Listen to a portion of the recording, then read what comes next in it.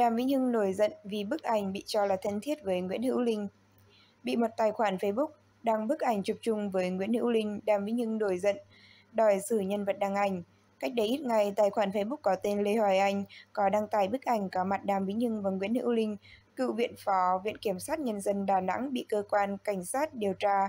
Công an quận 4 thành phố Hồ Chí Minh ra quyết định khởi tố vụ án, khởi tố bị can về hành vi dâm ô đối với người dưới 16 tuổi và áp dụng biện pháp cấm xuất cảnh, cấm đi khỏi nơi cư trú.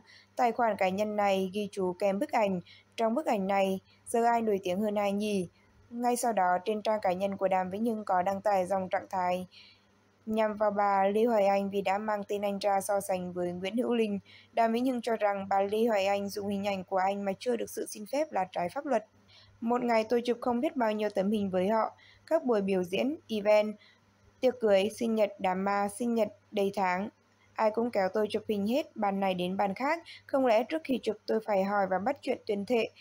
Không sàm sỡ, không buồn lậu, không giật chồng người khác, Đàm Vĩnh Hưng viết. Kèm theo đó, Đàm Vĩnh Hưng không quên dằn mặt bà Lê Hoài Anh rằng phải gỡ bức ảnh đó trong vòng 24 giờ, nếu không sẽ xử. Dù sau đó đã gỡ status trên trang cá nhân của mình, nhưng câu chuyện phản ứng mạnh mẽ của Đàm Vĩnh Hưng cũng gây ra sự tranh cãi gay gắt trong cộng đồng mạng. Nhiều ý kiến cho rằng Đàm Vĩnh Hưng đang phản ứng thái quá với một bức ảnh, việc tuyên bố xử một tài khoản Facebook và hô hào, việc tuyên bố xử một tài khoản Facebook và hô hào truyền tấn công tài khoản này là việc làm bị cho là quá đáng.